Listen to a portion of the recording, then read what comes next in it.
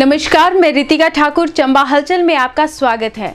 चंबा हलचल के आज के इस अंक की शुरुआत करते हैं हिमाचल की सुर्खियों के साथ। हिमाचल प्रदेश में सोमवार से शादी समारोह, सियासी कार्यक्रमों और अंतिम संस्कार में 100-100 लोग शामिल हो सकेंगे।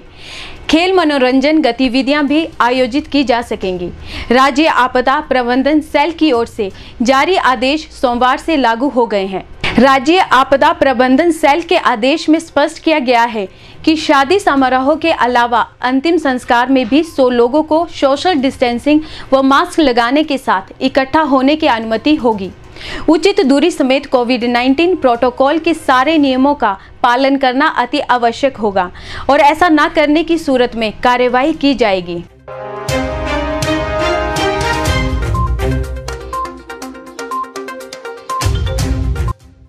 हिमाचल चुनाव आयोग के आदेश पर सोमवार को प्रदेश के 2800 पंचायतों की विशेष बैठक का आयोजन किया गया। इसमें पंचायतों की वोटर लिस्टों में नाम जोड़ने और काटने को लेकर पंचायत स्तर पर चर्चा की गई।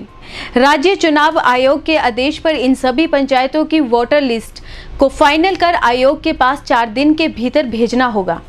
प्रदेश के इन पंचायतों पर नई पंचायतों के पुनर्गठन से कोई असर नहीं पड़ा है।